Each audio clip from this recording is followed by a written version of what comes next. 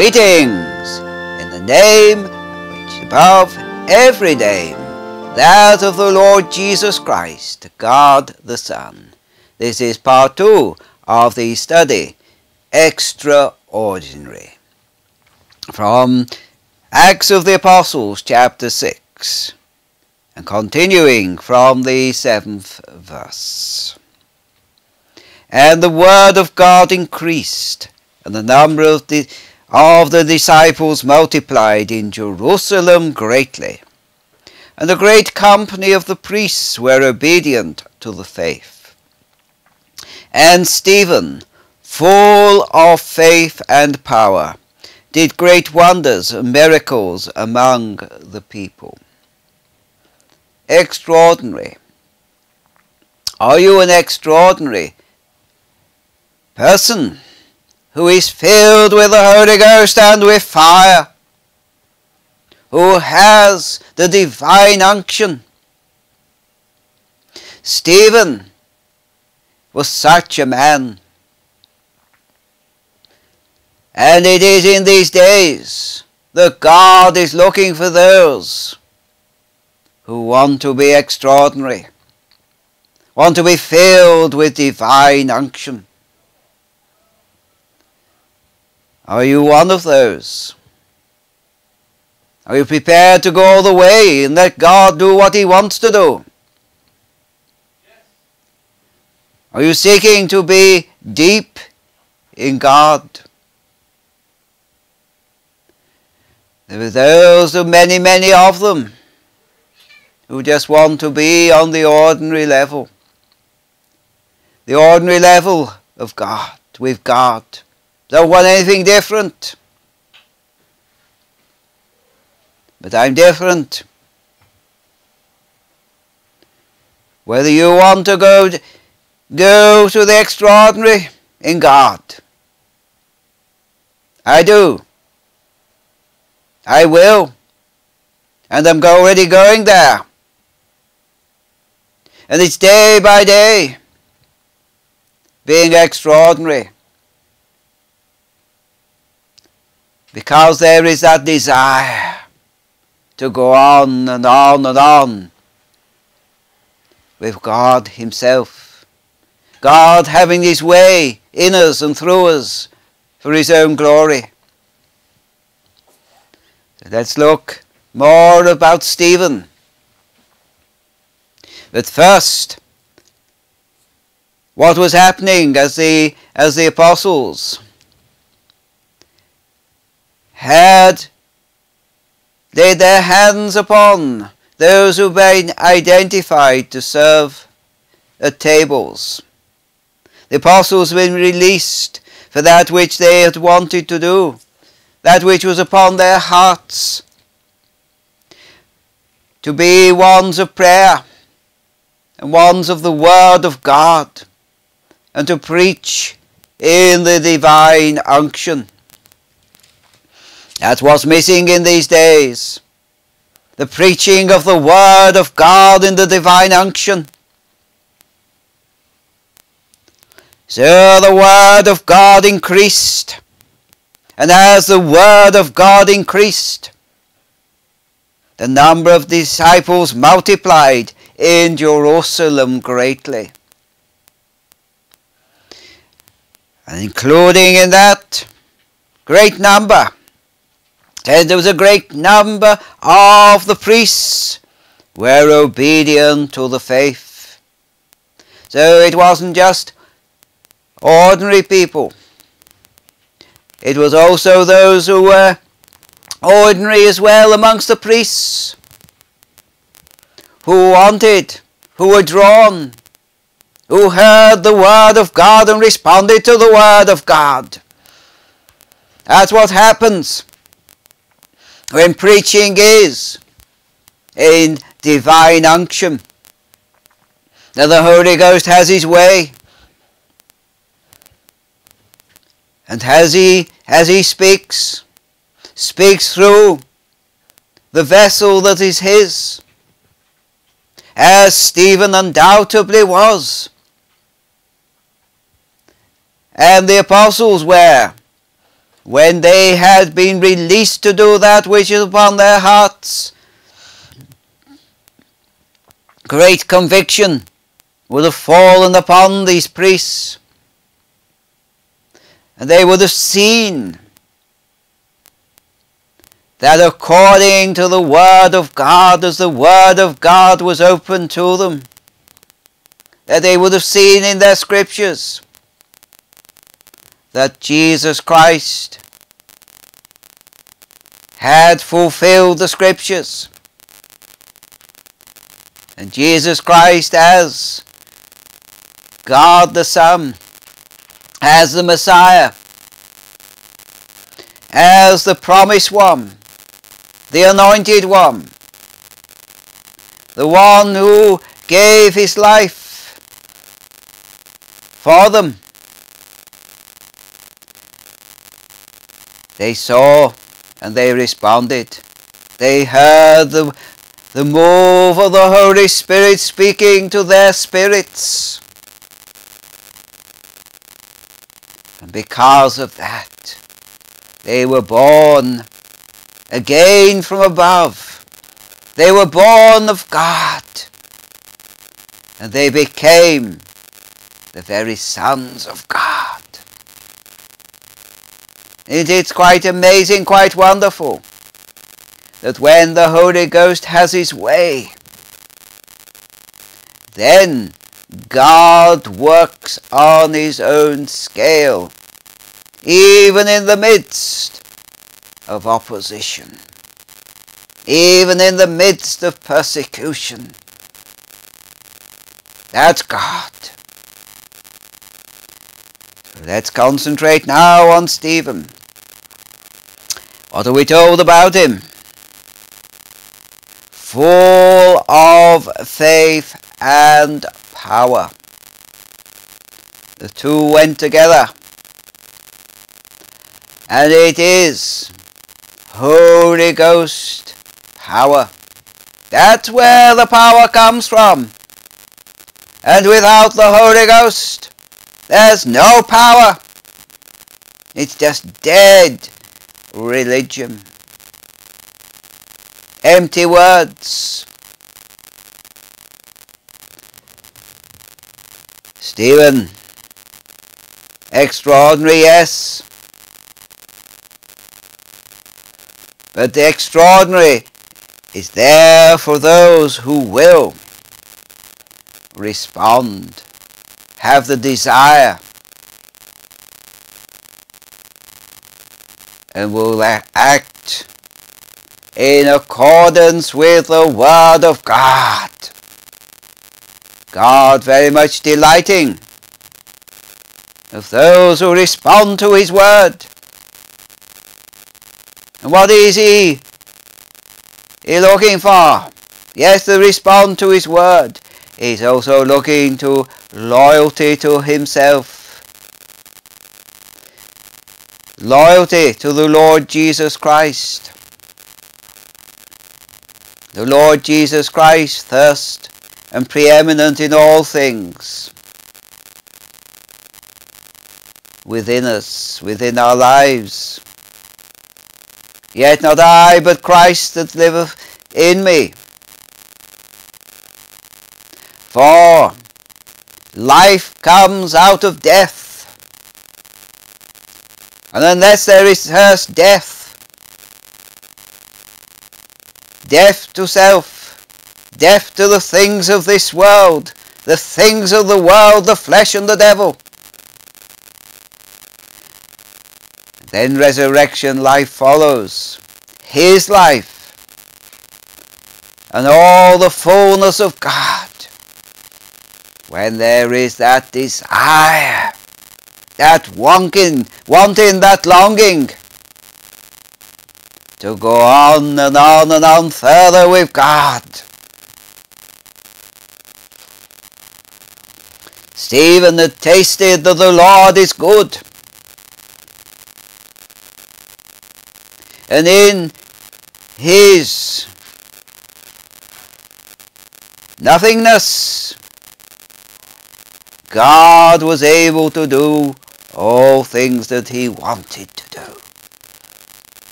Because Stephen is the evidence of a man wholly sold out to God.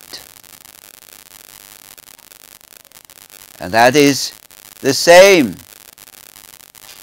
today when God finds someone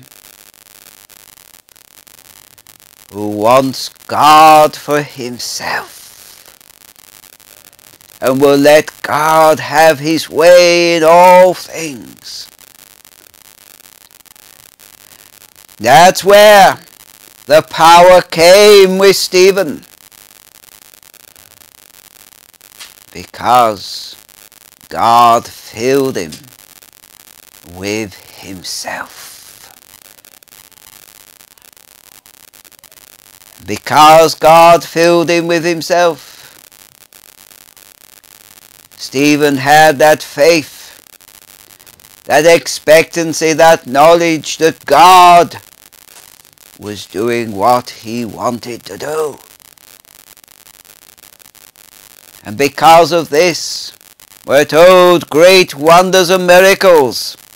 Stephen did, yes, but it was the Christ in him. The Christ working in him and through him. The Christ having his own way in and through Stephen. Stephen being as one with the Lord Jesus Christ, being in the very likeness of the Lord Jesus Christ. And that, ava- that availability is still there today because Jesus Christ the same yesterday, today and forever, the unchangeable Christ. And what he did with Stephen he can and He will do today when the conditions are met. Just like Stephen. And what were the conditions meet him? Submitting to Christ.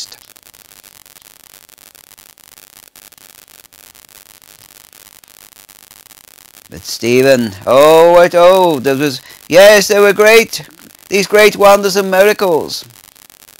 And people were coming, coming to the Lord. But who else is around when things like this happen? Oh, don't be at all surprised. Be prepared. The very devil himself was never far away when God is at work.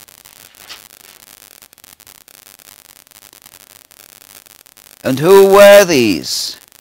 who came to oppose Stephen.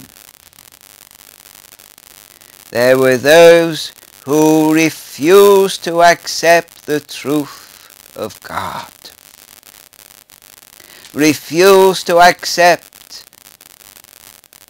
They rejected the Holy Ghost, and in rejecting the Holy Ghost, they were fighting against God Yes, they, oh yes, they were ones of the synagogue, all right. These libertines, Cyrenians and Alexandrians. But they had, yes, a form of religion and denied the power. Just as the scriptures tell us, there are those who do have a form of religion.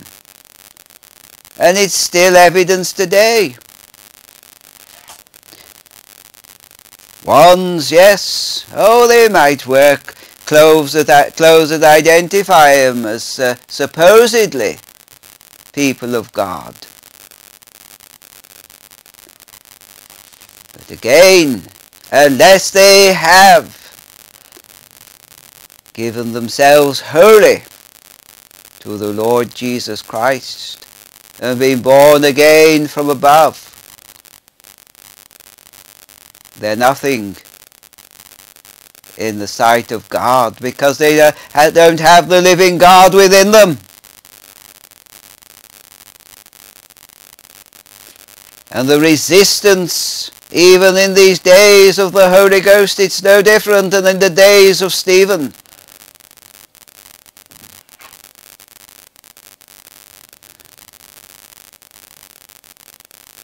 And it is the God will only work in and through those who are his own.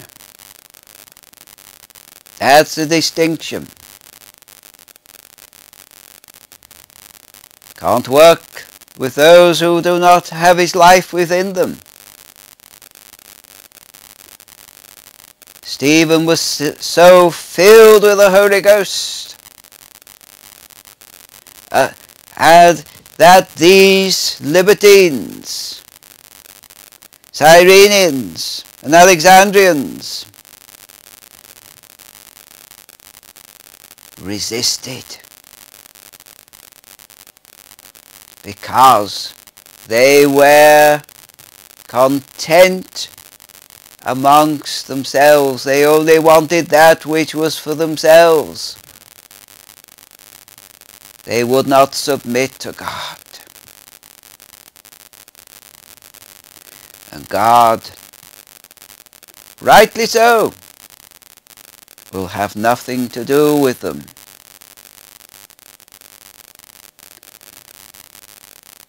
And it is the same today that God will have nothing to do with those who resist the Holy Ghost.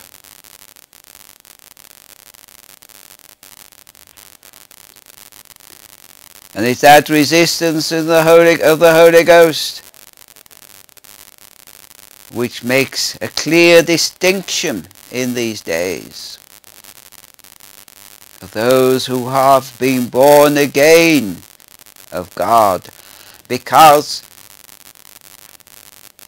when someone is born again of God, they will want the things of God. They will want God for himself.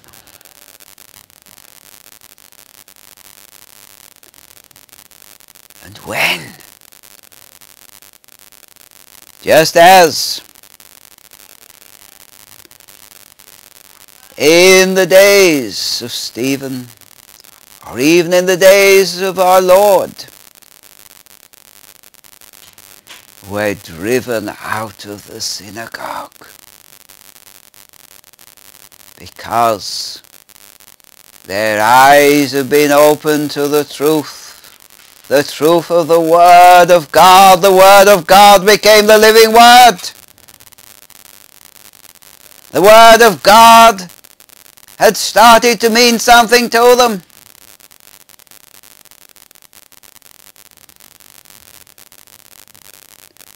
And today, it's just the same. That when the Word of God becomes alive in someone, even within the church or a fellowship,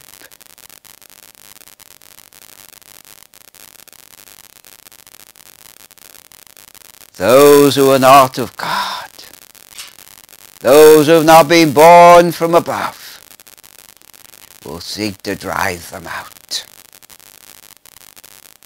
because they will not, do not want to know the truth of the Word of God. And what happened with Stephen? With those who opposed him? Those who opposed the truth, what did they do?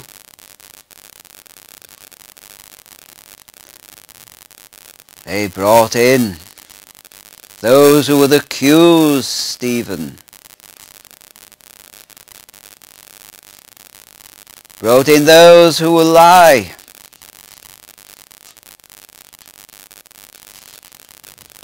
And note, they stirred the people to come and bring false accusations against Stephen.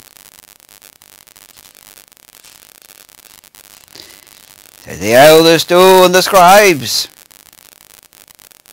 They all came against Stephen and brought him to the council Yes, they brought him before those who were called the religious leaders. But the religious leaders also were ones who resisted the Holy Ghost. The religion of the day. Just as it was against the Lord of glory were against Stephen as well. Because Stephen had within him that which the religion of the day did not have within. Stephen had the Lord of glory within him.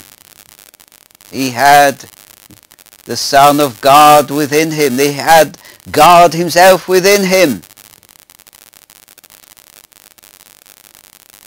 And when someone has God within, yes, it will stir up those who do not have God within them. It will stir up the very devil himself. But Stephen knew that no matter what he had to go through, he will go through it. Because nothing could separate him from the love of God. Nothing could separate him from the very life of God. Having started out as being filled with the Holy Ghost and with fire, having tasted The Lord is good, having tasted the things of God.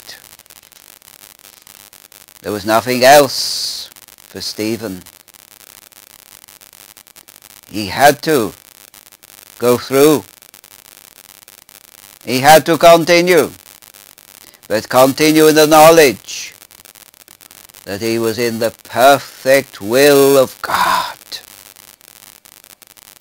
And no matter what happened, even should he die as a martyr, he would go all the way through, nothing would deter him.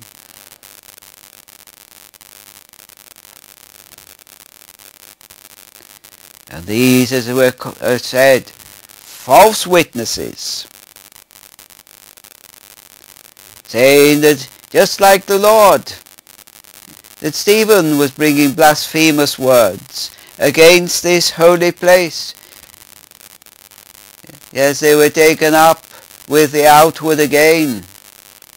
The religion is always taken up with that which is of the outward, that which can be seen, that which is the physical, rather than the inward working of the Spirit of God.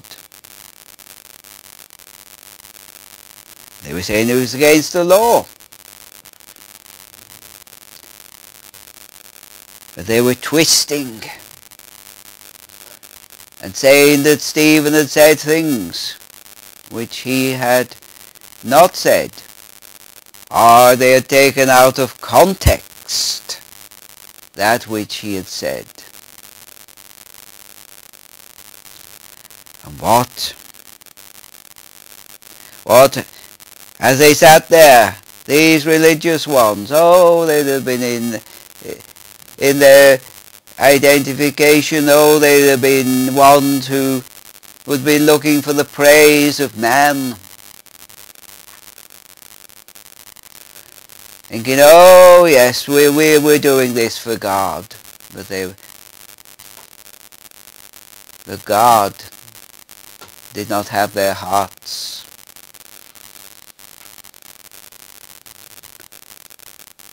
That's Stephen.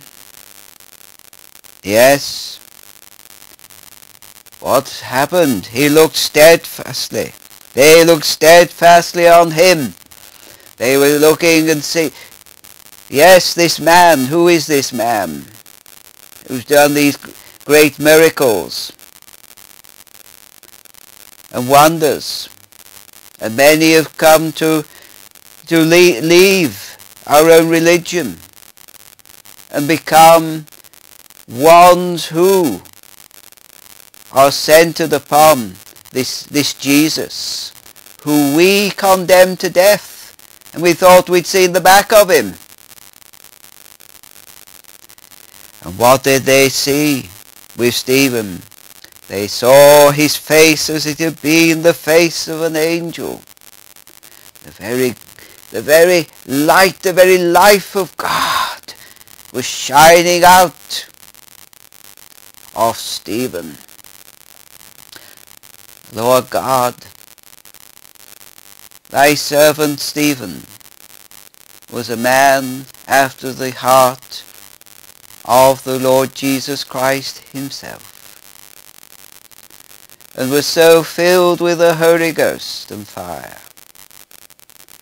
that even the council, as they looked upon him, and the accusations were brought against him, could see one thing, and that his face so shone, that it was like the face of an angel. May in these days you find people, ones who are so given to thyself just as Stephen was, that you can work in them and through them to bring glory to thyself. Amen.